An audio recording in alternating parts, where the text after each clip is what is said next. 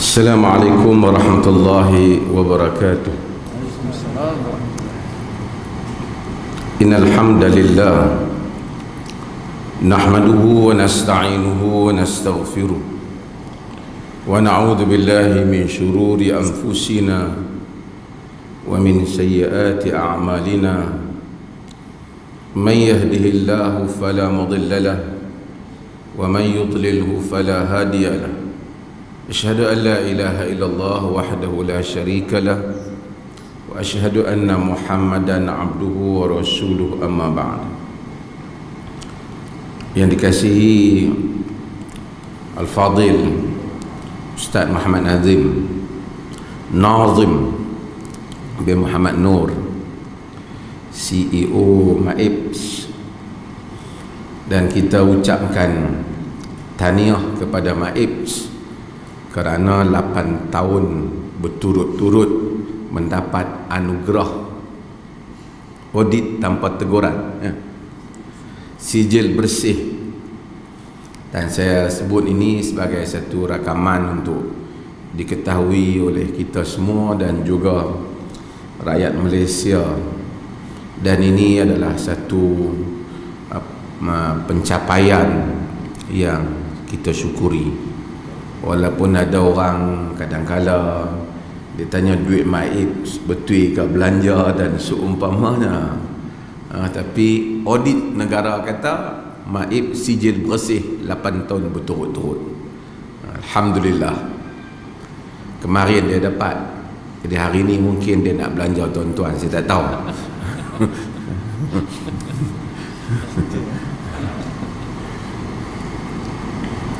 yang dikasihi Al-Fadil Ustaz Sirajuddin Abdul Sattar yang merupakan imam besar dan jamiah tu yang dibetul juga yang dibetul jamiah. Para asatizah tuan-tuan ada perempuan tak ada? Oh, perempuan tak ada kita? Oh, puan ada seorang daripada diskriminasi gender. Para yang menghadiri mesyuarat agung kali yang ke-35 bagi tahun ini tahun 2019 kan? Hadirin dan hadirat yang dirahmati Allah termasuk para penonton ni pasal mereka rakam. Ni kita di Masjid Alwi berhimpun para tu imam lejetak kuasa masjid orang yang terlibat menguruskan masjid macam-macam. Tujuan kita sama.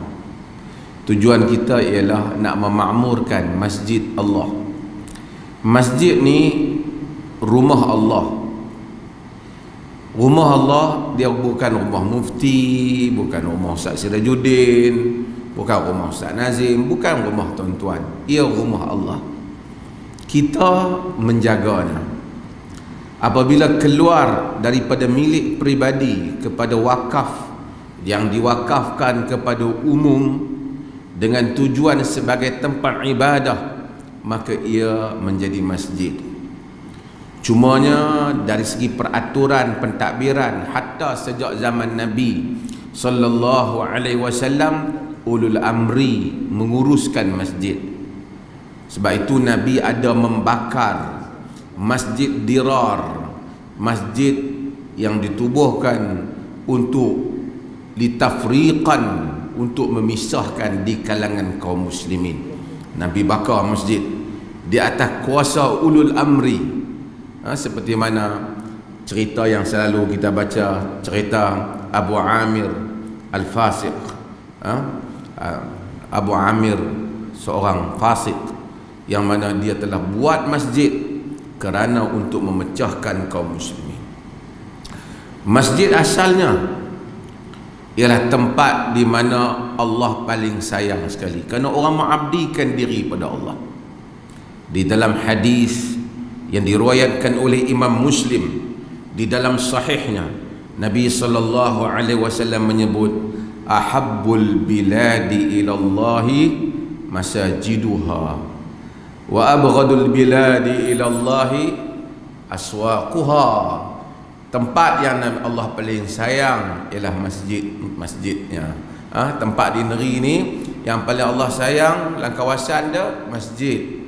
Yang paling Allah tak suka pasar. Bukan negara tak boleh.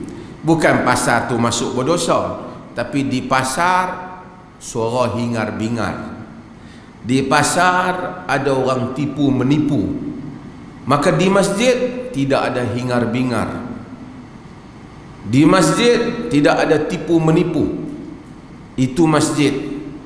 Dan tuan-tuan Alhamdulillah Allah takdirkan untuk menjaga tempat yang paling Allah subhanahu wa ta'ala sayang. Saya di dalam kisah yang disebut oleh al-imam Ibn Kathir di dalam al-bidayah wa nihayah walaupun kisah ini dari segi sanatnya tidaklah begitu jelas tapi ia bukan hadis. Di mana Umar bin Khattab radhiyallahu an menyebut satu perkataan. Kisah tu panjang tapi saya selalu quote ha, dia punya perkataan yang digunakan di dalam riwayat itu. Apabila dia nak minta isterinya supaya tolong wanita satu perempuan dikatakan Omar pada musim kemarau ah, dia keluar untuk melihat hmm, orang yang datang ke Madinah mereka pasang khemah dan seumpamanya mereka makanan kurang. Jadi ada satu orang tu dia bawa isteri dia dan isteri dia nak lahirkan anak nak bersalin. Jadi dia tak kenal Sayyidina Umar tanya dia tu kata Samsuk Jampok uh, dia tak tahu ini Amirul Mukminin isteri dia sih ialah orang Arab. Dia cemburu isteri dia. Tapi dia tengok isteri tu nak mengandung dia tak ada orang nak urus tak ada. Sayyidina Umar pergi tanya isteri dia Ummu Kalsum. Kata Umar hal laki fi khairin saqallahu ilaiki adakah engkau sudi untuk suatu kebaikan yang mana Allah Subhanahu wa taala bawa untuk engkau tak apalah cerita tu tapi saya nak nak guna istilah itu ada kebaikan dalam hidup kita ni Tuhan bawa mari kepada kita jaga masjid satu kebaikan yang besar Bukan semua orang boleh jadi jaga masjid ni. Allah bagi kat kita. Mungkin kalau kita berdiri di dalam saf solat di dalam masjid dan Allah Subhanahu wa taala melihat hamba-hambanya dalam masjid yang bersolat di masjid kampung kita, di bandar kita, di tempat kita belumlah tentu kita ni lah yang paling Allah sayang, belum tentu. Sebab tu saya kita selalu sebut di dalam bab pahala di sisi Tuhan tidak sama pahala sekalipun sama ibadat disebabkan tidak samanya hati ataupun jantung hati seorang hamba kepada Allah. Ini disebut oleh Al-Izz Abdul Salam tentang bagaimana berbedanya pahala dengan kadar berbedanya masyakkah dan berbezanya keadaan seorang hamba. Kita berdiri dalam saf Allah melihat hamba-hambanya kita pun tak berani kata aku yang Allah paling sayang sekali dalam kampung tu. Sebab tu aku jadi jatuh kuasa masjid. Sebab aku tu aku jadi tok imam. Kita tak berani kata mungkin kita yang Allah marah. Namun Allah subhanahu wa ta'ala telah takdirkan kita. Dia bagi satu keistimewaan sebagai ibtila. Sebagai satu ujian. Kau tolong uruskan masjid tolong uruskan rumahku belum tentu dia sayang kita. Maka kita maksudnya kalaulah kita ambil ni ramai-ramai orang yang boleh buat satu kerja ni satu orang kalau ni Allah walillahi mathalul a'la Allah tidak dibandingkan. Tapi nak faham kita duduk di sini ramai orang hak bagus-bagus ni dan tapi bos satu syarikat tu dia pilih satu orang yang biasa saja, tak bagus sangat. Dia bagi satu jawatan. supaya kawan tu dapat meningkatkan diri dia satu kemuliaan sebab itu kita selalu akur pagi-pagi kita sebut abu ulaka bi ni'matika alayya wa abu bi dhanbi faghfirli fa innahu la yaghfiru dhunuba illa anta. Aku mengaku kepadamu. Aku mengaku padamu nikmatmu kepadaku. Dan aku mengaku dengan dosaku.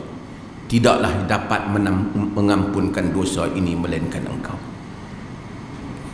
Mungkin tuan-tuan saya Ustaz Serajuddin itulah yang sentiasa menghantui kita bagi setiap saat merasai besarnya nikmat Allah beri pada kita dan besarnya dosa kita di sisinya. Bagi menginsafi itu maka kita cuba buat masjid ini yang terbaik. Di dalam hadis yang diriwayatkan oleh Al-Hakim dalam Al-Mustadrak disahihkan olehnya disetujui oleh Al-Zahabi Nabi sallallahu alaihi wasallam menyebut sayati 'ala nas zamanun. Sayati zamanun. Unasun yatahallaquna fil mas fil masajidihim. Wa laysa hammuhum illa dunyahum fala tujalisuhum. Wa laysa lillahi lahum hajah fala tujalisuhum. Nabi kata akan datang satu zaman di mana manusia akan berhalaqah duduk berhimpun di masjid walaysa hammuhum illa dunyahum. Tidak ada tujuan mereka melainkan dunia saja. Duduk di masjid mesyuarat di masjid bincang di masjid bersembang di masjid tidak ada tujuan dunia. Dan Allah tidak ada apa pun mau daripada mereka. Maksud Allah tak sudi mereka. Fala tujalisuhum. Jangan kamu duduk dengan mereka kata Nabi kan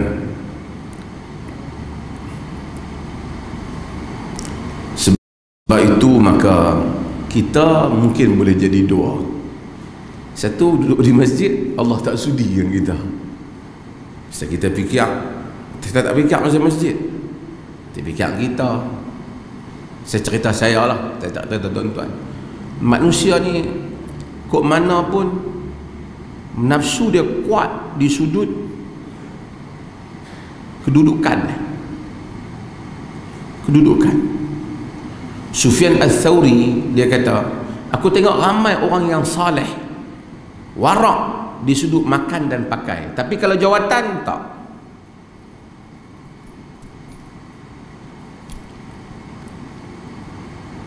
maka kita pastikanlah saya lah dan tuan-tuan juga kita, kita koreksi diri kita kita kerja kerana jawatan kita atau kita kerja kerana Allah Azza wa Jal. Kalau kita dapat bereskan ini aku cuba buat yang terbaiklah lillahi ta'ala. Yang lain semua insya Allah akan dapat kita bereskan. Dalam hidup ni saya diri saya lah tuan-tuan mungkin boleh tumpang juga ingatan ini. Kita bimbang banyak kerja-kerja kita yang hebat balik di sisi Allah tak ada. Tak ada pahala. Allah kata kau bukan buat untuk aku. Yang itulah yang sentiasa kita letih berfikir mengenainya. Kita duduk di kesunyian malam berfikir berapa banyak yang aku buat untuk Allah berapa banyak yang aku buat untuk orang.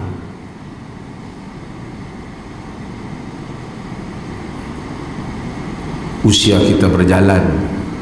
Umur kita berlalu pergi. Hari-hari yang datang amalan telah kita lakukan. Balik di sisi Tuhan malaikat catat amalan kita. Jadi mufti berapa lama fatwa berapa banyak kerja jadi imam berapa lama? Semayang berapa banyak? Tengok pahala. Allah kata yang ni semua bukan lillahi ta'ala. Oh letih kita letih. Yang ni semua kerana nak pertahan diri hang. Ni semua kerana kepentingan hang oh letih kita masa tu tak ada apa lah. Orang kata Masya Allah mati dia tu. Mati tak jawatan mufti. Pergi di akhirat na'udzubillah tengok-tengok duduk tu. Haduk sapu sampah luar masjid duduk depan. Sebab dia mungkin lillahi ta'ala. Sebab itu kita duduk kuliah ni kita ni main macam-macam. Main pikir sampul ke main minta. Tapi kawan hak duk bersila ujung tu. Dia mai lillahi ta'ala. Naik motor hujan. Saya balik kuliah kemarin ni tengok satu orang naik motor hujan. Eh kita naik kereta balik. Dia mai kuliah naik motor hujan. Mungkin mai duduk sini kuliah Sagi mufti tak mai kuliah orang kata apa pula? Mai dia malillahi ta'ala. Sebab itu ramai hamba-hamba Tuhan yang tidak dikenali oleh manusia lebih dikasih oleh Allah. Lebih daripada orang-orang yang memakai baju-baju agama dan nama-nama Tuhan ini. Maka kerja yang paling besar untuk kita saya selalu ingat ialah bertarung menentang diri kita sendiri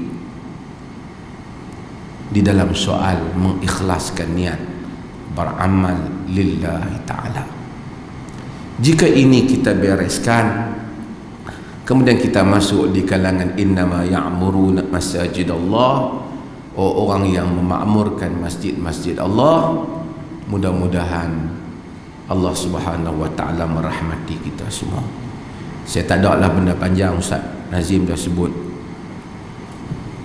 Sebagai jabatan mufti saya memberikan sepenuhlah sokongan di atas aktiviti yang baik tuan-tuan.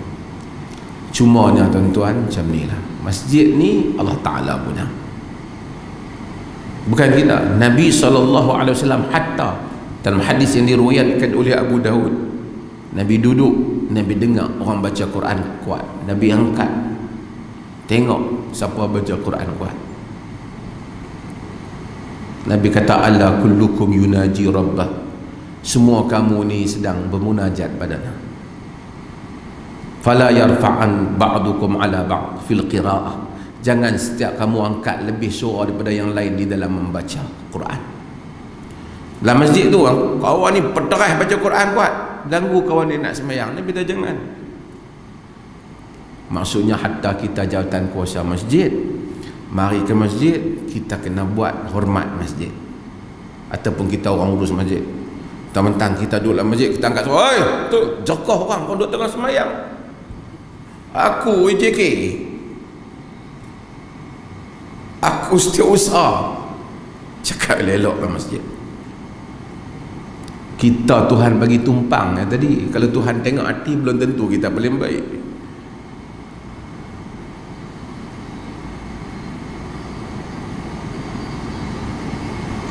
Masjid. Nabi sallallahu alaihi wasallam perintah. Dalam hadis riwayat Imam Ahmad supaya semua orang ada masjid. Buat masjid. Wa an nunazzifuha. Dan dia perintahkan kami supaya bersihkan masjid. Masjid nak bersih? Orang mai tengok bersih masjid sebahagian daripada memakmurkan masjid. Wangikan masjid sebahagian daripada memakmurkan masjid.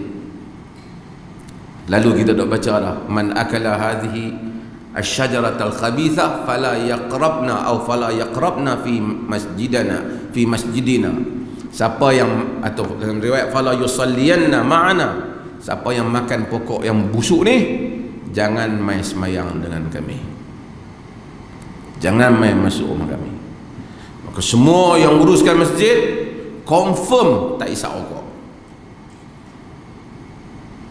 Okok busuk. Makan derian pun tak boleh main masjid. Apa duk bau derian dalam masjid ni?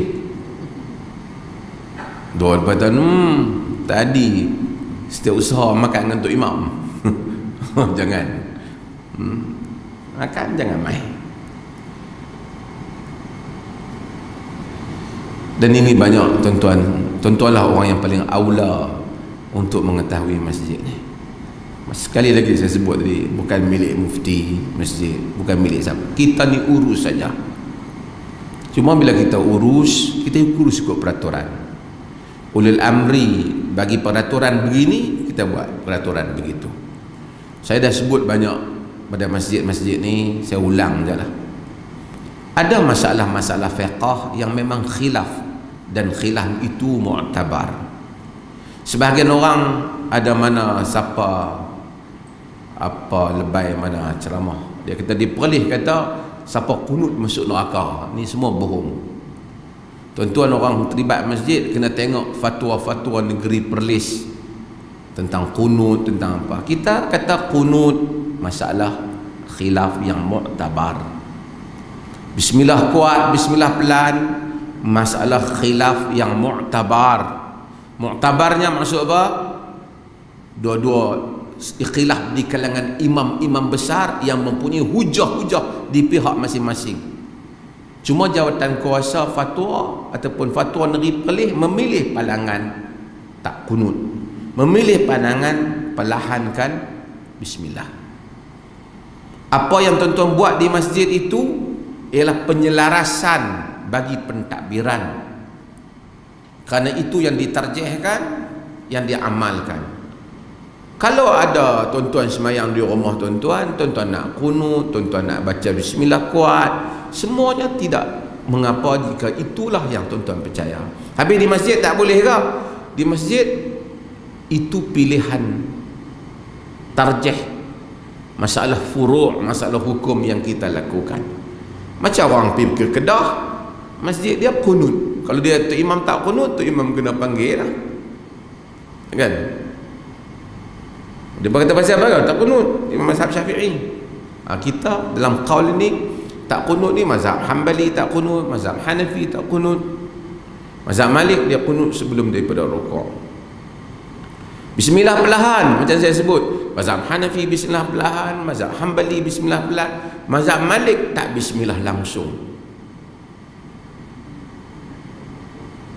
Yang bismillah kuat ni mazhab Syafi'i. Salah kata kita tak kata salah kita kata kita terjehkan dalam kebanyakan hal Nabi berismillah perlahan. Tu kalau orang bismillah bismillah apa uh, kuat masuk neraka kita tak cakap cerita neraka tak neraka. Ini masalah fiqah itu kita kata ini khilaf. Habis tu kenapa?